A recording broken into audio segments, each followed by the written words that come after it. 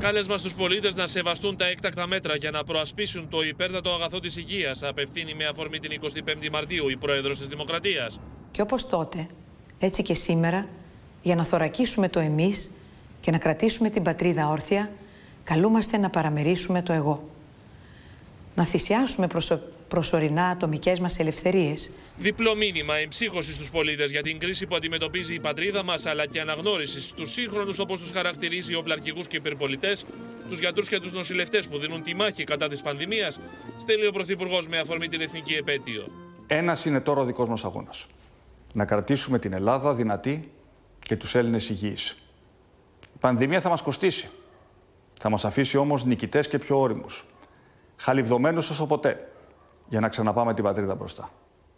Η δοκιμασία που βιώνουμε απελευθερώνει ήδη δυνάμεις του λαού μας που βρίσκονταν σε λίθαργο.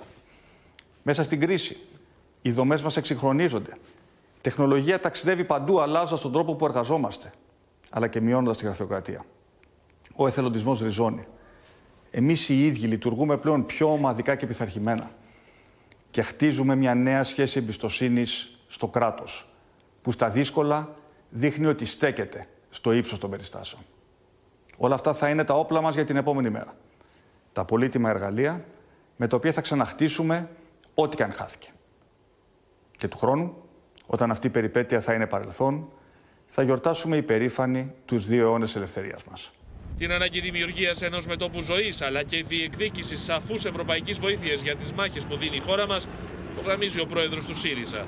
Το 2021 υπήρξε πάντοτε πηγή έμπνευσης στους αγώνες του λαού μας για ελευθερία και δικαιοσύνη. Μας διδάσκει ότι ένας μικρός λαός όταν είναι ενωμένος και δεν είναι προβλέψιμος και επιθύνιος, κερδίζει αυτά που δικαιούται. Μας θυμίζει τέλος ότι η Ελλάδα δεν είναι μόνο η πατρίδα μας, αλλά και οι αξίες μας. Και ότι το ένα δεν μπορεί να υπάρξει δίχως το άλλο. Χρόνια πολλά και καλή δύναμη σε όλους και σε όλες μας.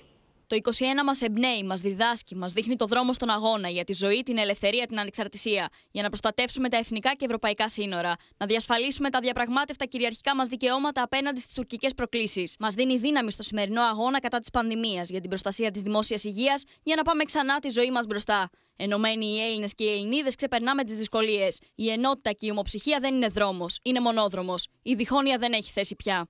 Σε αυτές τις δύσκολες ώρες δεν έχει θέση μια εθνική ομοψυχία εθνικιστικού ή κοσμοπολίτικου τύπου.